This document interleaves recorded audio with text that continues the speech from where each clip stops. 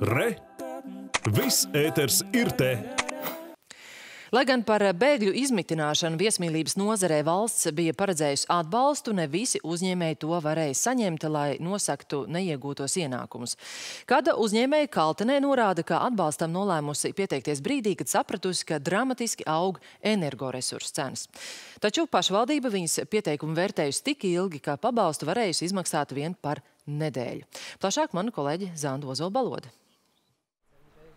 Neatliekamās medicīniskās palīdzības feldšera Rita Grende dzīvo Kaltenē gandrīz vai jūras krastā. Trīs mēnešus gadā viņas māja kļūst par brīvdienu māju, ko īrē tuvāki un tālāki viesi.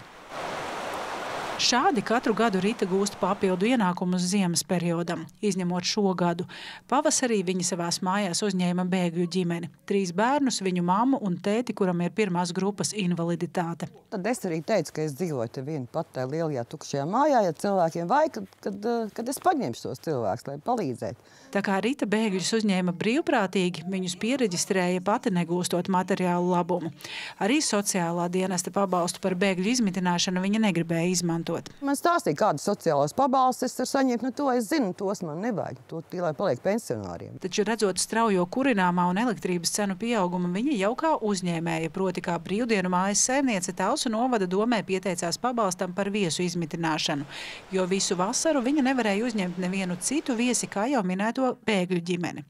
Rītas iesniegumu izskatīja mēnesi un atbalstu viņa galu galā saņēma vien par nedēļu, jo pēc šī laika konkrēto pabalsta veidu vairs nemaksāja. Viņi 30. jūnijā piešķīra to pabalstu, jā, 30. jūnijā mēs parakstījām to līgumu, bet no 30. jūnija, ne no 1. jūnija, kad es rakstīju iesniegumā.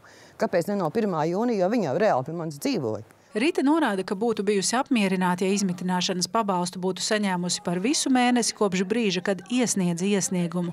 Ar to būtu pieticis, lai nosektu neiegūtos ienākumus. Līdz 30. jūnijam, kā mēs zinām, vispār bija šī, šis lielais atbalsts no valsts.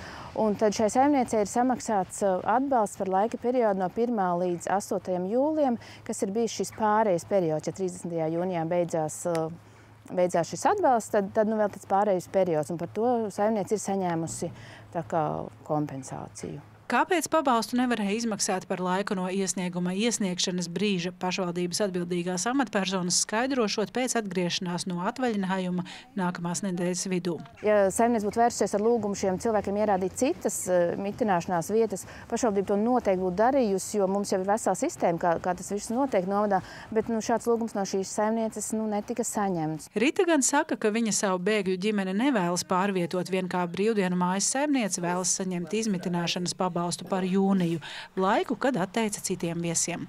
Zandozo Balodēgars Kovaļevskis, Latvijas televīzijas.